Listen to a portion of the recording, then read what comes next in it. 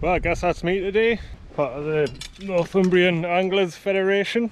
The weather at home, or the weather generally around here, is absolutely shocking for sea fishing, so uh, I've been stuck in the house twiddling my thumbs thinking what to do, so uh, I do like a little bit of fly fishing, so I've uh, picked up a license for those people. So with that in mind, I've come out to a place I've never been before, and uh, we're going to go and chase some wild brownies.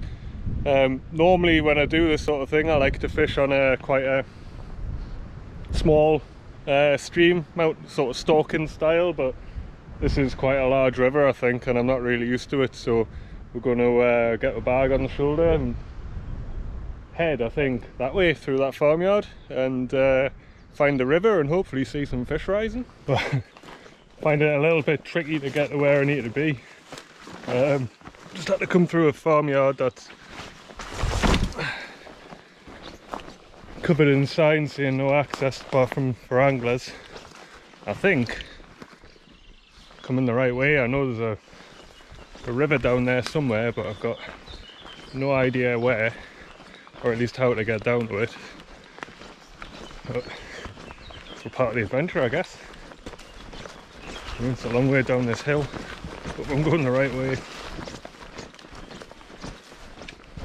There's a river. It's not as big as I was expecting. I was expecting it to be a lot um, wider in all honesty than what you can see on Google Earth, but uh, I'm happy with that. Oh, smell wild garlic.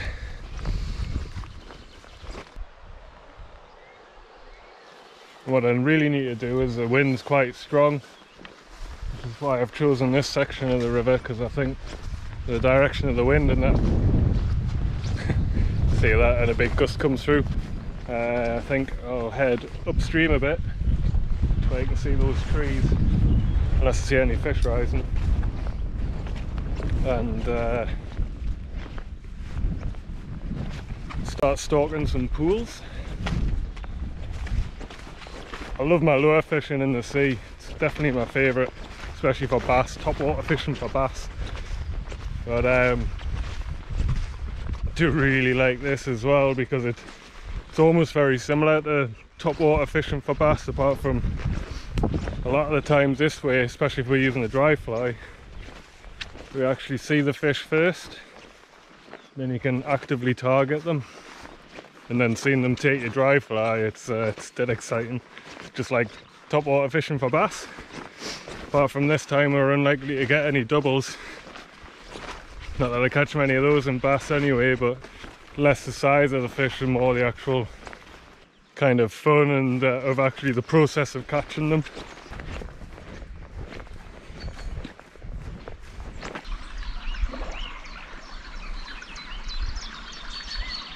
Temperature wise, it's, it's pretty cold still for May. It's middle of May and it's 10 degrees. Uh, so there's don't know if there's much insect life yet because the water's still really cold, but I did see some uh, hawthorn flies while I was out and about yesterday, so I haven't seen any hawthorn bushes yet, but it's a sign that there could be some fish, uh, insects around and therefore fish feeding on the surface.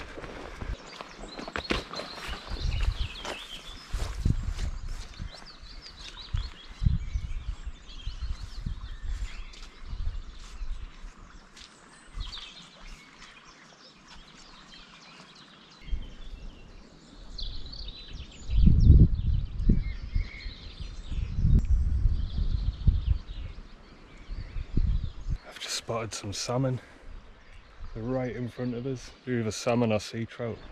This is quite a famous river um, for those types of fish. Oh yeah, look, there's a whole school of them there. Don't know if you can see through. Wow, they're right in the shallows, there must be. Oh, look at them. Just ask Robson Green about this river. I think that's his, uh, his favourite one. So he keeps saying in his extreme fishing programs. Never seen them like this outside of Scotland.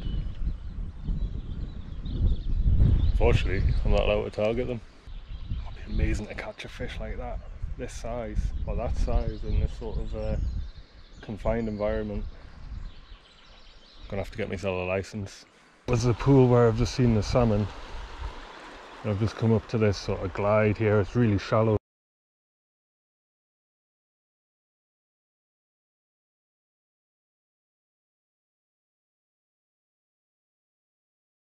There's another one closer. Not very big fish, but not compared to the salmon I've just seen. But a fish is a fish, as they say. This isn't about getting a huge fish, this is just about getting a fish and enjoying the process. So it's actually a 10 foot nymphing rod with a 4 weight floating line and a 2 pound leader on reel that makes a difference as a Sonic SKS Lite. It's a matching reel for this rod. Start with this little size 14 I think uh, CDC emerger because the fish aren't actually breaking the surface well they are but they're not breaching if you know what I mean so uh, yeah let's give this one a go it's designed to just sit under the surface partly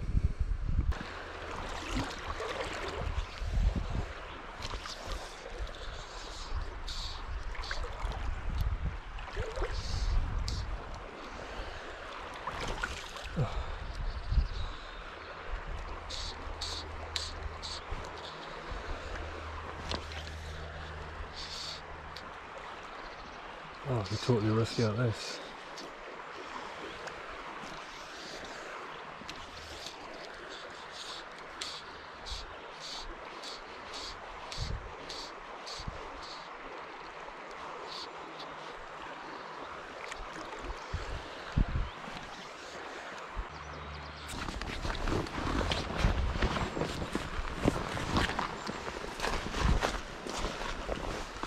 Smells great in here with this wild garlic.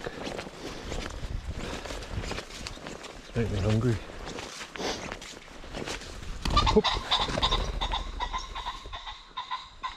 Interrupted something there. Female pheasant, male pheasant.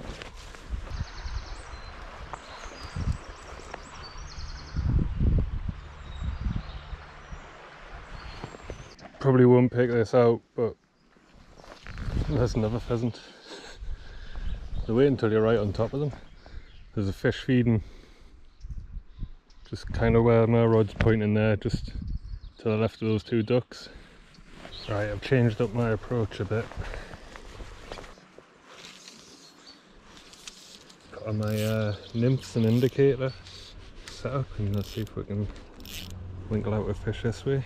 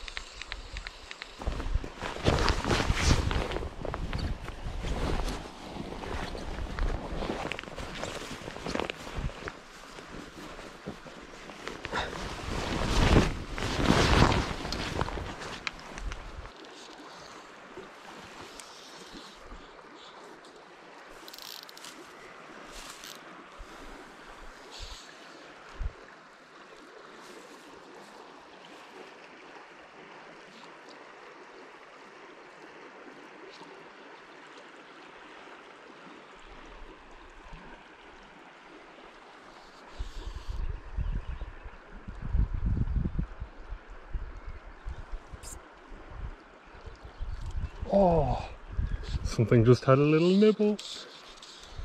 Felt it tug, but it didn't. Wasn't expecting it. Damn it.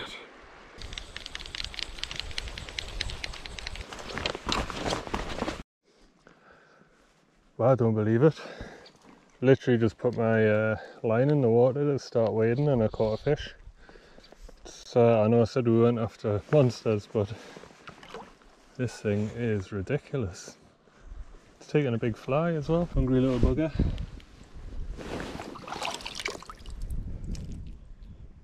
God, it's fat.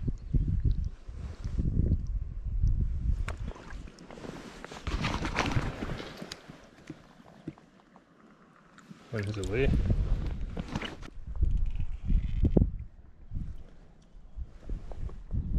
It's going nuts.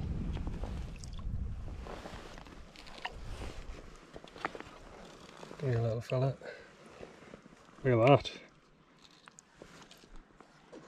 Miniature, but pristine.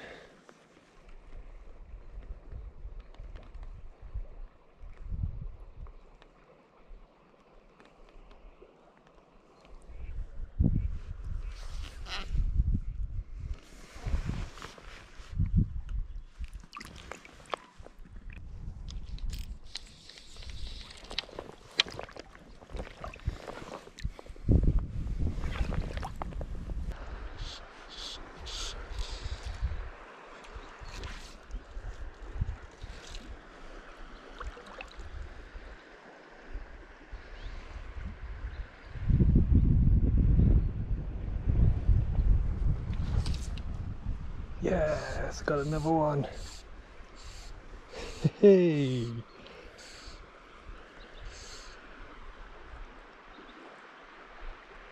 But they are now plucky to do with a one weight with these size fish. Beautiful little brown trout.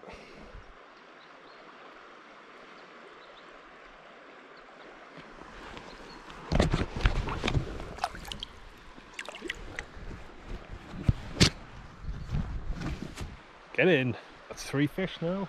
One unknown species. Looked like a coarse fish to me. Uh, two miniature pristine brown trout. So uh, I haven't blanked at least. My fly line's sinking so what I'm going to do is walk down back down the river a little bit back into the shelter and uh, dry my line off and stick a little bit of, uh, of fly floatant on it to help it uh, float again.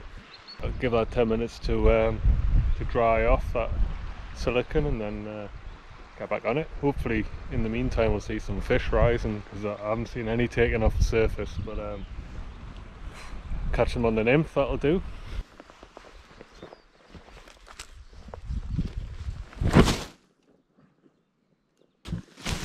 It's not going to do much good down there.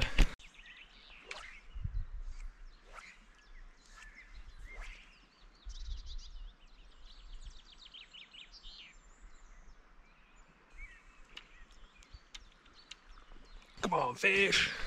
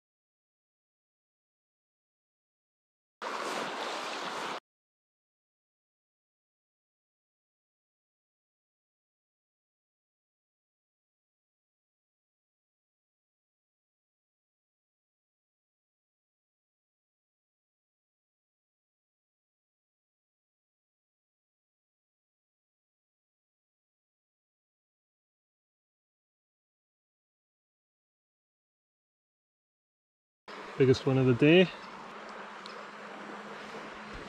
It's not though, it's a trout. Little sea trout maybe?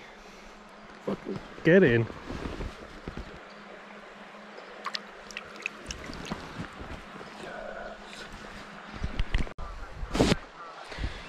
Well, I think that little uh, silver trout is probably the fitting way to end the night. It's, uh, it's been a it's been a canny few hours. Um, Shame I didn't get anything on the dry fly, but that last fish, I'd seen it surface a couple of times and uh, it was felt good having been able to cast to it uh, and it taken my nymph. Didn't take the daddy, but to be fair, the, the hook's a size 10, so it probably wouldn't even fitted it in its gob. So yeah, uh, it's been a nice way to spend the afternoon, like I said especially when there's absolutely nothing to do with uh, in the sea at the moment. I was going to start chucking some um, using the beach casting kit, but uh, I didn't really fancy that in all honesty. So came out for a little bit of a something different, something just to uh, to stretch the legs and come to a place that's nice and quiet and uh, not many people around. And uh, yeah, really enjoyed it. I think. Um, definitely be getting a salmon license. Love to catch one of those massive fish in this sort of uh, stream or river. Um, but uh, hopefully the next video will be out in the sea, either on the shore uh, for some pollock or out in the kayak. I'm not sure. It's just it's just weather dependent, really. Uh, it's been like the coldest April for a hundred years up here. Uh, whenever there's wind, there's a, uh, no, there's no swell and whenever there's no wind there's a big swell so it's made getting on the shore on the rocks. Uh, really tricky. Um, not to mention that they've banned fishing uh, at St Abbs from the shore which is uh, where I usually go for for my sort of good good pollock fishing and things. So that's a bit of a gutter because about 80% of my videos are filmed up that way so I'm gonna have to start finding some new ground. We'll manage, we'll find somewhere and uh, there's plenty of coastline obviously so yeah, well I'm gonna uh, try and find my way back to the car. And uh, without going through a farmyard or uh, up a massive hill. But uh, I really hope you've enjoyed this slightly different video. And uh, if you have give it a thumbs up and hit the subscribe button as always. And until the next one tight lines